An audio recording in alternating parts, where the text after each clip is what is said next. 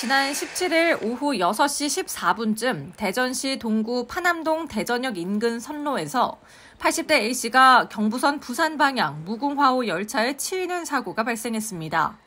A씨는 크게 다쳐 병원으로 옮겨졌으나 치료 도중 숨졌습니다.